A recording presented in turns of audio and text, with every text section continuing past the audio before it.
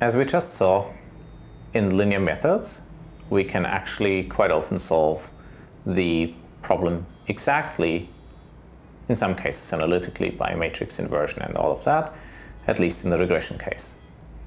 But for the purpose of deep learning, we may not necessarily want that. As a matter of fact, we might not even want this in the case where we can solve it analytically. So consider the following situation. Let's say I have a lot of houses with house prices. And all those houses look very, very similar and the prices are very similar. In that case, it doesn't make a lot of sense to have all the data to be looked at in order to update the parameters because all the observations will tell you exactly the same thing, so you're not going to learn a lot. You might be much better off taking a small subset of the data, updating the parameters, and moving on, and therefore getting much faster progress. So this is something you can do with stochastic gradient descent. So let's look at gradient descent first. So what you do is you choose some starting point, W0, and you repeat to update the weight at time, you know, 1, 2, 3. And so I get Wt is Wt minus 1 minus, and then I take a step in the direction of the negative gradient. And so with this, I can minimize my objective function. Because the gradient, of course, is a direction that increases the value, so therefore moving in the negative gradient direction decreases things. The learning rate eta in this case is a hyperparameter that specifies the step length. In this picture, the optimization problem is very nice, and arguably we could have taken slightly more aggressive steps, but you know, this gets us to a solution. So if I pick very small step sizes, then yes, I will make progress at every step, but I'll take baby steps and it will take a very long time.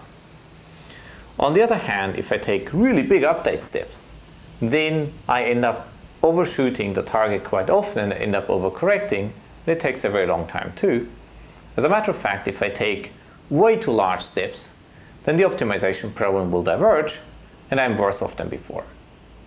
So, small steps make things inefficient, very large steps will break it entirely. Okay, so what you do is you process observations, you know, one at a time. Unfortunately, if you do that one at a time, optimization may not be very efficient. Because as we know, matrix vector operations are a lot faster than matrix, uh, are a lot faster than vector-vector operations on their own.